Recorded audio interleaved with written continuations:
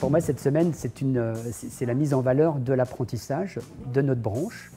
Et donc c'est quelque chose de très important. Euh, ça va faire 30 ans que, je suis installé, que je prends des apprentis. Et, euh, l'apprenti, bah, c'est l'avenir de nos métiers. C'est eux qui, plus tard, euh, vont peut-être reprendre nos affaires, certainement. et on a besoin de les écouter. Et en plus, il y a plein de nouveaux métiers qui arrivent. Et donc cette semaine-là, ça va permettre de mettre en valeur tous ces nouveaux métiers de la mobilité. On, va avoir de nouvelles façons de, travailler, mais aussi des, nouvelles, des nouveaux véhicules. Ce ne sera plus que des véhicules thermique, on va avoir des véhicules électriques, hybrides, et donc euh, multi, euh, multi-carburation, donc beaucoup plus de services, euh, beaucoup plus d'accompagnement. Donc non, je trouve que ça va être très intéressant. J'espère vivre encore quelques, années pour, pour accompagner ce changement. En, région Pays de la Loire, la présidente Christelle Morancet a, une conviction, c'est que l'apprentissage est, est, une véritable voie de l'excellence. Accompagner l'apprentissage, c'est quoi? C'est accompagner l'investissement dans les organismes de formation. C'est aussi euh, un dialogue régulier avec les branches professionnelles pour définir euh, bah, les capacités d'accueil de, nos établissements, pour les adapter aux, besoins de l'entreprise.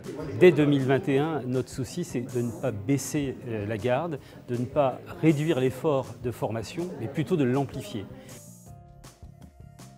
On se retrouve aujourd'hui dans le cadre de la SSAM, qui est la Semaine des services de l'automobile et de la mobilité, euh, qui est une semaine d'envergure nationale. Euh, elle se veut en fait euh, le coup de projecteur sur les métiers et les formations qui mènent à notre branche, donc au métier de la branche des services de l'automobile.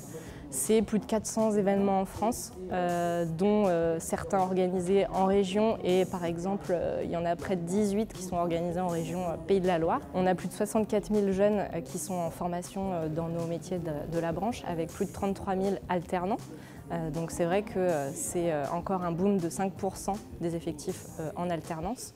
Et spécifiquement dans les Pays de la Loire, qui est vraiment un territoire propre à l'apprentissage et qui a cette culture justement de miser sur les jeunes.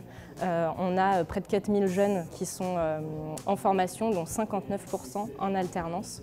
Donc vraiment, c'est euh, le partenariat et encore l'investissement des entreprises avec les centres de formation qui permettent du coup de former la relève à nos métiers dans la branche des services de l'automobile.